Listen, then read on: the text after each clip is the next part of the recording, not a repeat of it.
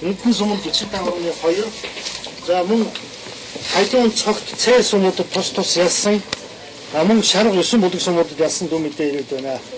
За Говь сумбар аймгаас бол 3 сумтай хараахан дүн мэдээ ирээгүй байна. За дараагийн аймаг Дорногов аймаг байна.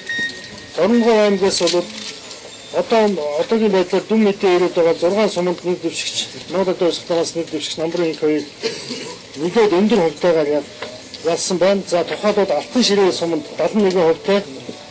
За Дэлгэрэх суманд 56 зууны 78 хувьтай. Их хэд суманд 63.5 хувьтай.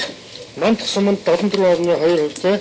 Сайхан дулаан суманд 65 хувьтайгаар тус тус ялаад байна. За бусад сумуудын мэдээ хараахан үргэлжлэн ирээд байна.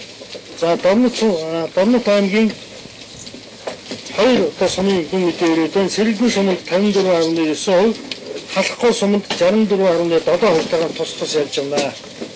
За Дундгой аймгаас бол 3 сумын мэдээ одоогийн байдлаар хүрэлцэн ирээд байна. Дуус суманд 73 хувьтайгаар, Цагаан тэр суманд 53%, Гов Ухтаа суманд 54.6 хувьтайгаар ялаад байна. За Завхан аймгийн нийт 24 сумаас одоогийн байдлаар дөрвөн сумын дүн мэдээ хүрэлцэн ирээд байна. Цагаан архын суманд 49.85%, Сонгон суманд 65.9%, Нөмөлг суманд 57%, аа Тэгмэл суманд 52.6 хувьтайгаар нэг дэвшигч намрын хоёр ясан мэдээ өгч байна үзсэн байлаа. За дараа нь Өвөрхөнгөө аймаг байна. Өвөрхөнгөө аймагт бол Тарх суманд нэг дэвшигч намрын их хоёр ялсан. За хумын хараахан ирээгүй байна. За зүүн баян удаан суманд ялж байна. А баян өндөр суманд 54 хувьтай ялсан. 900 суманд 65 хувьтай. Өлзий суманд ялаад байна. Хараахан хувь ирээгүй байна. А самт суманд 68.3%. Төвөрг суманд мөн ялсан байна. Нэг гэж бодож. За Нэг гэж бодож. Марин тэл суманд 56 хувьтай ялсан байна. За мөн түнчлэн а баян удаан богц сумуудад тус тус ялсан мэдээ үргэлжлэн ирээд байна. Яг эцсийн одоо ковид нь гараагүй байна. За өмнөгөө аймагт бол өмнөгөө аймагт нийтдээ 5 сумын дүн мэдээ ирээд байна. Тавланд нь нөгөө одоо өсөх намаас нэг дэвшигч. Намрын их хоёр ялсан мэдээ ирсэн байна. За тухайлбал Манлай суманд 61.6%, Хаангол суманд 52%, Баян долоо суманд 53.6%, Богд суманд 57%, Ноён суманд 55.6% тус тус ялсан дүн мэдээ хүрэлцэн ирээд байна. За Сүхбаатар аймаг. За Сүхбаатар аймагт бол манай сонгогчдод бол маш идэвхтэй оролцсон дүн мэдээ нийт 13 сумаас 12 сумын дүн мэдээ ирсэн. За 12-нд нь бол Монгол Улсын өсөлт намаас нэг дэвшигч намрын их хоёр маш өндөр хувьтайгаар ялсан дүн мэдээ ирсэн байна. За та бүхэн танилцуулъя. Асгат сум 65%-аар ялсан, Сүхбаатар суманд 59%-аар, Халзан суманд 70%-аар ялсан байна. Эрдэнэ цагаан суманд 63%-аар, Баруун хотод бол ялж явж байгаа. Одоо эцсийн дүн гараагүй байна. Баян дэлгэр суманд 60%-тай, а Дарган суманд 57.8%, Мөнхөн суманд бол дүн ирээгүй байна. Тэгтээ бол эцсийн дүн гараагүй гэсэн бол ялж байгаа гэсэн мэдээ ирсэн байна. За наран суманд 54.6%, ангар суманд 63.3%. За ууд оюун сум бол ганцаараа мэдээлэл хангах хэрэглээг байна. Түмэн цогц суманд 54%, төвшин сэргээ суманд 53% тус тус ялсан ийм дүн мэдээ бол ирээд байна.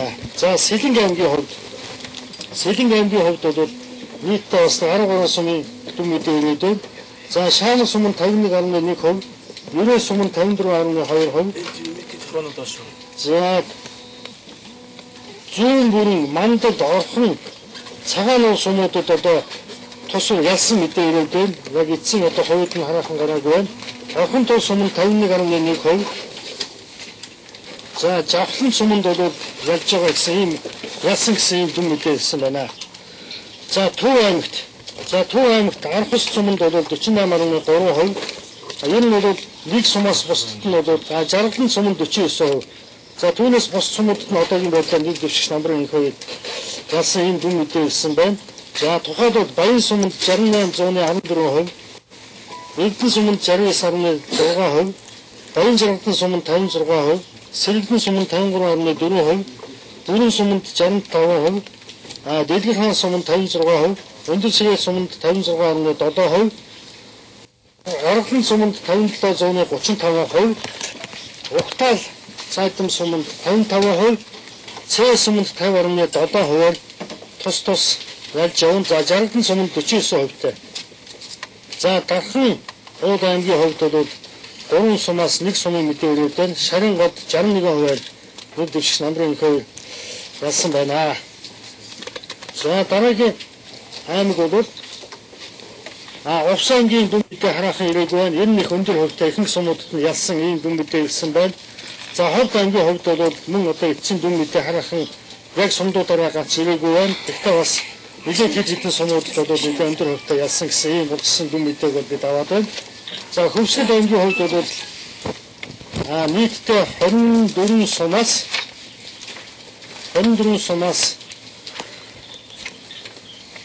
заг Улаан уул, Эренчин төмб, их уул, тариалан, анс шамт, төмөр булаг, шин мэдэр зэрэг сумуудад бол одоогийн байдлаар аа Монгол одоо өсөлт намаас нэг дэвшигч инк хоёр ялсан. За алаг эдэн цагаан нуур хатгал галт зэрэг сумуудад бол бас Хацсангүй 50% хүрээгүй ийм дүн мэдээ ирсэн байна. За Хинтээ ангийн хувьд Үндсэндээ бол ихэнх сумуудад нэг дэвшигч намрын инкээр ялсан дүн мэдээ ирж байна. На тухайд бол мөрөн суманд 54 хувиар ялсан байна. Дэлгэр хаан суманд 52 хувиар, Дархан суманд 66 хувиар, Баян аваа суманд 55 хувиар, Дэрх суманд 58 хувиар. За Батнуурын суманд 52 хувиар, Баян утаг суманд 70.9 хувиар тус тус ялсан байна. За ингээд эцэст нь дүгнж хэлэхэд бол нийт одоо Монгол улсын хэмжээнд Улаанбаатараас бусад Хамниган аймгийн бусад одоо 300 гаруй сумдуудаас авсан мэдээгээр нийт одоо хоёроос бусад аймагт нь бол Монгол Улсын усх тамаас нэг дэвшигч намрын инкээр ялах юм магадлал өндөр байна гэдгийг төлөвлөлт ихэндээ хэлье гэж ингэж бодож байна. Нийс латин дүн хийж байгаа. За нийс латин дүн хаахан эцлэн гараагүй байна. Энийг харсан үед нь бол би бүхэн бас та бүхэн танилцуулна гэж бодож байна. Одоо эцэг мэдээ. Дараагийн мэдээ нэг цагийн дараа өгөн дахиад. За Баярлалаа.